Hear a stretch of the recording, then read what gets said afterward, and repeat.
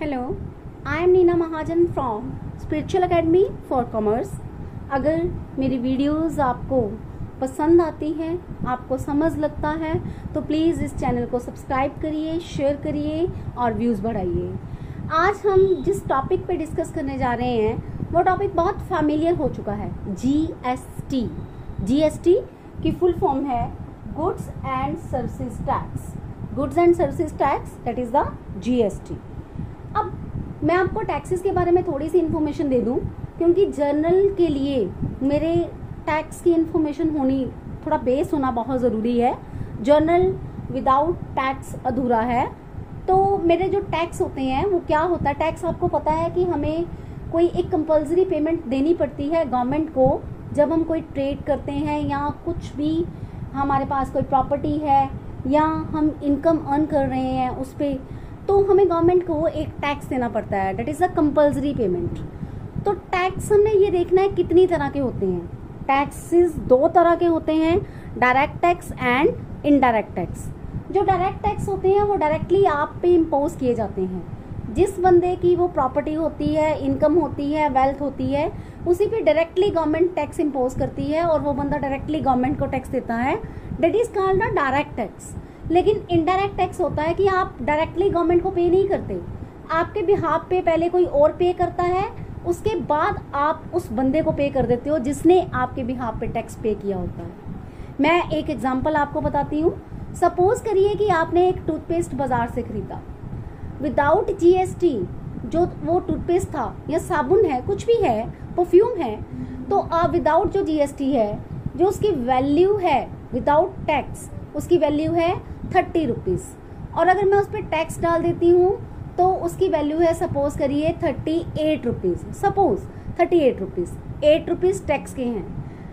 वो पर्सन उसने पहले जैसे आपने किसी ने ये जो आपने परफ्यूम या टूथपेस्ट जो भी खरीदना है, किसी शॉपकीपर से खरीदना है, उस शॉपकीपर ने पहले से ही आपके बिहाफ पे, पहले से ही वो टैक्सेस वगैरह पे करके रखे क्योंकि जब उसने खरीदा उसे टैक्स पे करना पड़ा। उस चीज़ों के ऊपर वो चीज़ उसने खरीदी और टैक्स के समेत खरीदी। अब वो जो परफ्यूम या टूथपेस्ट है, वो आपको बेचने जा रहा है तो वो आपसे टैक्स की अमाउंट ले लेगा। जैसे थर्टी रुपीज़ थी उसकी अमाउंट उस टूथपेस्ट की, और उसके ऊपर एट रुपीज़ क्या था? टैक्स था। तो वो आपसे थर्टी एट रुपीज़ लेगा। पर वो एट रुपीज़ पहले पे कर चुका है। इसका मतलब ये इनडायरेक्ट चैनल हो गया। आपने टैक्स पहले पे नहीं किया आपने कब पे किया? जब आपने वो चीज़ उस शॉपकीपर से खरीदी और वो शॉपकीपर पहले से ही आपके कारण टैक्स पे कर चुका था। तो मतलब इनडायरेक्ट टेस्ट टैक्स का जो बोझ होता है, वो अल्टीमेटली किस पे आता है? कंज्यूमर पे। जो उस चीज़ को क्या करता है? कंज्यूम करता है। तो इनडायरेक्ट टैक्स जो है, पहले तो बहुत सारे इनडायरेक्ट टैक्सेस होते थे, लेकिन अब उन्होंने सारा इंटीग्रेटेड सिस्टम कर दिया है गवर्नमेंट ने।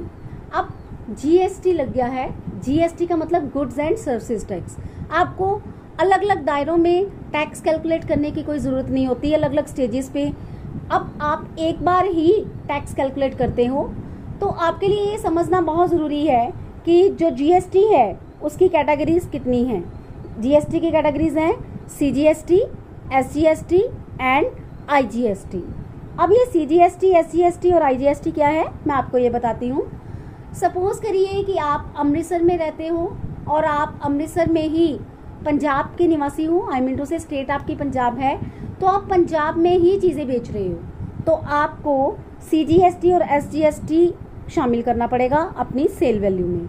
लेकिन अगर आप ये चीज़ें पंजाब में रह के किसी और स्टेट को बेच रहे हो, जैसे बिहार को, दिल्ली को, महाराष्ट्र को तो आपको क्या लगाना पड़ेगा उस पर आई अब ये नहीं है कि एक ही स्टेट में बेचने पे टैक्स डबल हो जाएगा, ऐसा नहीं है। वो टैक्स दो हिस्सों में डिवाइड हो जाएगा।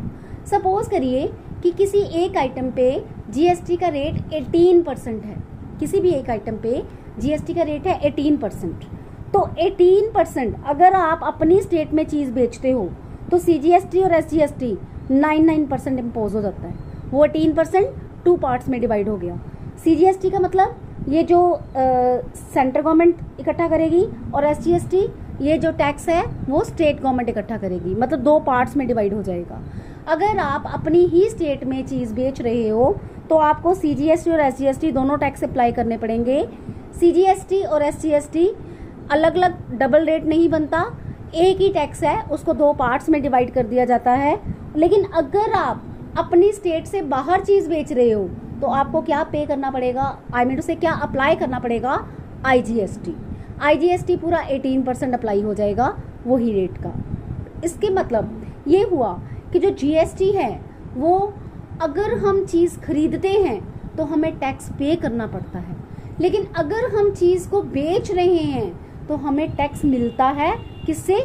जिसको हम चीज़ बेच रहे हैं, उससे हम टैक्स कलेक्ट करते हैं। इसका मतलब ये हो गया कि जब हम जीएसटी पे करेंगे। जब हम चीज़ खरीदेंगे जीएसटी पे करेंगे तो वो जीएसटी हमारा एक्सपेंस होएगा। Debit all expenses and losses और अगर हम चीज़ को बेचेंगे तो जीएसटी कलेक्ट करेंगे तो वो जीएसटी हमारा क्या होएगा? इनकम होएगी। Credit all incomes and gains तो ये हमारी जीएसटी की शॉर्ट समरी थी, जो मैंने जनरल के पॉइंट ऑफ़ व्यू से आपको समझा दी। मतलब जीएसटी टैक्स है जब हम चीज़ें खरीदते हैं तो हम पे टैक्स लगता है तो वो हमारा खर्चा होता है। लेकिन अगर हम चीज़ें बेचते हैं तो हम टैक्स कलेक्ट करते हैं और वो हमारी इनकम होती है। तो इस तरह से जीएसटी जर्नल के बिहाफ पे जितना चाहिए था उसके थ्योरी या कॉन्टेक्स्ट मैंने उतना समझा दिया। अब हम नेक्स्ट वीडियो में ट्रांजेक्शन्स लेके जर्नल पास करेंगे विद जीएसटी थैंक यू